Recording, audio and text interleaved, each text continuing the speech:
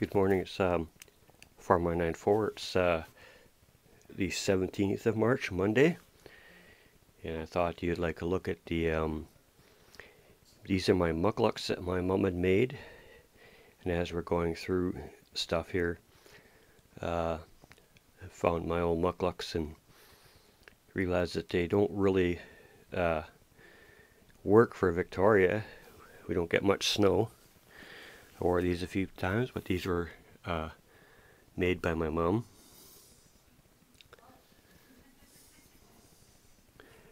Beautiful stuff. I think what I'm going to do is uh, give these to my um, niece, who will use them because she's in an area with snow. But just another one of those things. A thing that, uh, another one of those things that my mom did. And uh, if I'm running four out, talk to you guys later.